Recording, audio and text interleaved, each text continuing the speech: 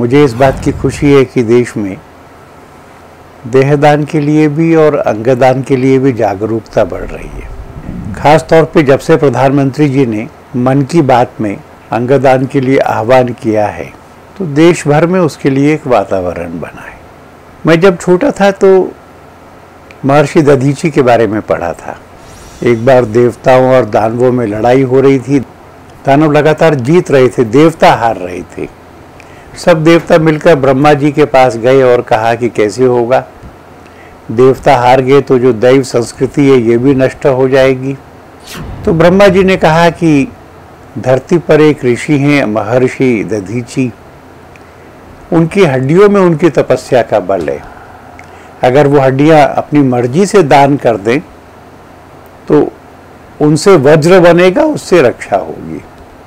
इंद्र मांगने गए ब्राह्मण का वेश बनाकर गए, तदीची ने पहचाना और जब सुना कि उनकी हड्डियों से वज्र बन करके देवताओं की और मानवता की रक्षा होगी तो प्रसन्न हो गए। कहने लगे, शरीर तो मिट्टी होता है, मेरी मिट्टी काम आएगी। तो उन्होंने आसन लगाया, अपने प्राणों को यहाँ पर केंद्रित किया, दान देने का संकल्प किया और अपने प्राण छोड़कर ईश्वर में मिल गए। उनकी हड्डियों से वज्र बना, उस वज्र से देवताओं की रक्षा हुई। ये जब से सुना था, तब से मुझे लगता था कि हमारी हड्डियाँ भी, हमारा शरीर भी, कुछ काम आएगा क्या? उन्नीस सौ चौरानवे में जब transplantation of human organs act आया, तब एक रास्ता खुला। हमारे भी अंग काम आ सकते। तब मालूम पड़ा कि मेडिकल कॉलेज के बच्चों को अपनी पढ़ाई के लिए मानव शरीर चाहिए।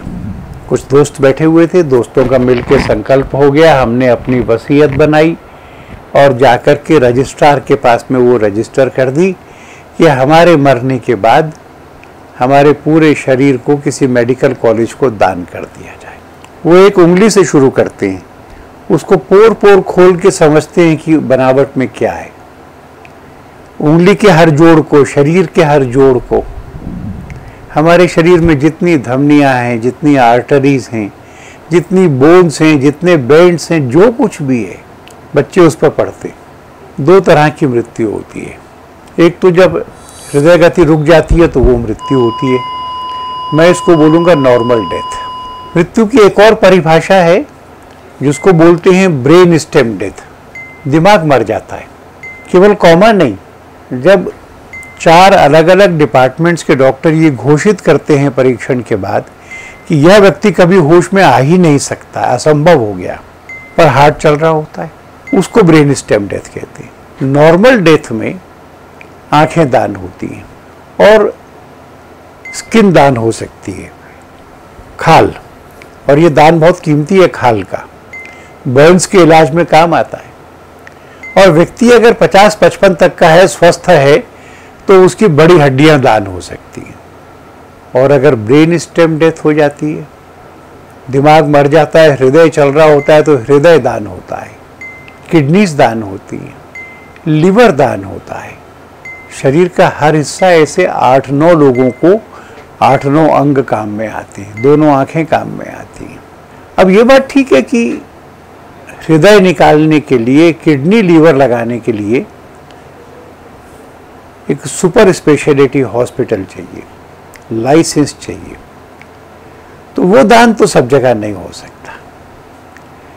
दिल्ली एनसीआर में तो सब जगह हो सकता है, पर कोई गाँव में सोचे कि मैं करूँ तो नहीं हो सकता। साल, डेढ़ साल पहले तक तो पटना में भी आई बैंक नहीं था। तो अभी हम लोग तो केवल एनसीआर में काम कर रहे हमारे जैसे काम और लोग भी अनेक शहरों में कर रहे हैं।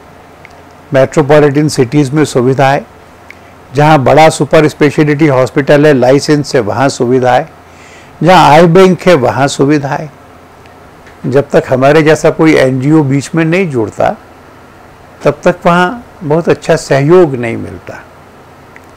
हम लोगों ने तो काम इसलिए शुरू किया कि मेडिकल कॉलेजेस में उस समय बहुत सहयोग नहीं मिलता था। तो हमारा तो कोई कॉलेज नहीं है, कोई गाड़ी भी नहीं है। कोई एक भी कर्मचारी भी नहीं है। हम सब मित्र मिलकर के एक पुल बन जाते हैं। दानदाता के बीच में और मेडिकल कॉलेज के बीच में। और मृत्यु के बाद बिना कठिनाई के वह दान हो जाए, इसकी व्यवस्था करते हैं। यह पुल हम जब तक चलाएँगे, जब तक एक अच्छे भारत का निर्माण का हमारा स्वप्न पूरा नहीं हो जाता। हम चाहेंगे कि सरकार इन व्यवस्थाओं को देश में बाकी जगह भी करे।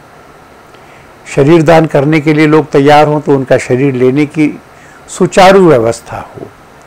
अंगदान के लिए तैयार हों तो अंगदान की सुचारू व्यवस्था हो। हमारे पड़ोस में छोटा सा द्वीप है श्रीलंका।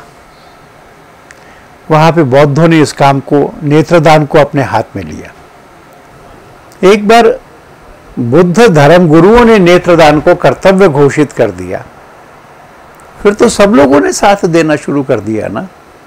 आज श्रीलंका अपनी आवश्यकताएँ पूरी करने के बाद सार्क देशों को आँखों की पुतलियाँ लगाने के लिए दान करता है, भेजता है। ऐसा यज्ञ दिल्ली में भी हम सब लोग करेंगे, ऐसा विश्वास है। एक वेबसाइट है, देहदान डॉट ओ आर जी। जिसको देहदान करने का मन करे, अंगदान करने का मन करे, वहाँ से फॉर्म डाउनलोड कर ले। घर में बताना ज़रूरी है। घर वालों की सहमति भी ज़रूरी है। मुझे एक ने कहा कि घर में पता नहीं चलना चाहिए। मैंने कहा, ऐसा कैसा होगा? तुम मरोगे? तो फ़ोन घर वाले तो तुम तो नहीं कर सकते ना। तो फॉर्म वहाँ से डाउनलोड करके प्रिंट करना, भरना, घर के गवाह के हस्ताक्षर कराना, हमको भेजना। हम रजिस्टर कर लेते हैं, आइडेंटिटी कार्ड भेजते हैं। और उसके बाद जब वह समय आता है तो किसी देहदानी की मृत्यु होती है तो उसके परिवार ने हमारी हेल्पलाइन पर केवल एक फ़ोन करना होता है। वह एक फ़ोन आने के बाद बाकी की सारी जिम्मेवारी हम लेते हैं। अपना एक कार्यकर्ता उस परिवार से संपर्क करता है, सुविधा का समय तय करता है, घर पर ही आँखों का दान करता है, शरीर को ले जाने की व्यवस्था करता है जितने कागज़ हैं वो पूरे कराता है और दान संपन्न करने तक हम काम करते हैं। हमें प्रसन्नता है कि इस काम के लिए लोग आगे आ रहे हैं। हमें संतोष है कि लगभग 130 शरीर हम मेडिकल कॉलेज को भेंट कर चुके हैं। साढ़े चार सौ जोड़े आँखें दान कर चुके हैं। सबका सहयोग होगा। तो 2019 तक के जो लक्ष्य हमने तय किए हैं, दिल्ली में कॉर्नियल ब्लाइंडनेस का एक भी ऐसा मरीज़ नहीं होगा जिसका नाम प्रतीक्षा सूची में है और हम आँखें नहीं दे दें। कॉर्नियल ब्लाइंडनेस को देश से मुक्त कर देंगे, दिल्ली को मुक्त कर देंगे। अस्पताल में चार लोगों को एक शरीर चाहिए, अभी 28-30 को एक शरीर मिलता है। 2019 तक देहदान इतनी बड़ी संख्या में होने लगेंगे कि हर एक मेडिकल कॉलेज की आवश्यकता को पूरा करेंगे। ये एक ऐसा यज्ञ है जो स्वस्थ, सबल भारत बनाता है।